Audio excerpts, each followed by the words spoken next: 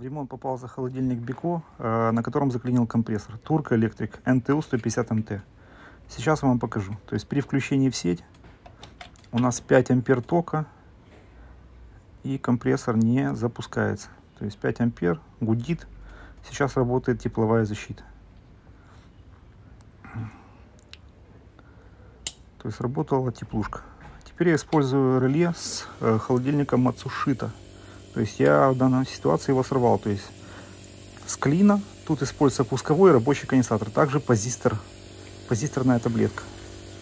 То есть такое вот уникальное реле попалось с пусковым рабочим конденсатором. Теперь я, смотрите, заново ставлю его же реле и запускаю. То есть компрессор, как мы видим, э, запустился, ток 0,7 ампера. То есть используется два конденсатора. 40 микрофарад пусковой и 2 микрофарада идет рабочий.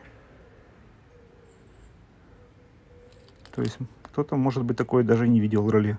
Раньше оно использовалось на японских э, ротационных холодильниках.